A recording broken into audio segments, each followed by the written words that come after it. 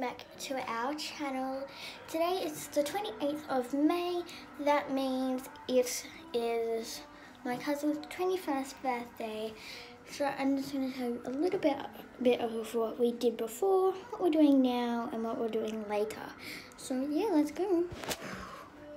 Okay, so I came into this lighting. Okay, first thing before, we had to pick up my sister from after school care. This is a better lighting. And then um, we came to our auntie's house. They got dinner, which was Chinese. It was the best. Now, and then my mom came home from work with our cousin's present. And we got her a coach bag, which is so cool. And then we're just gonna listen to music. This is the music we're listening to.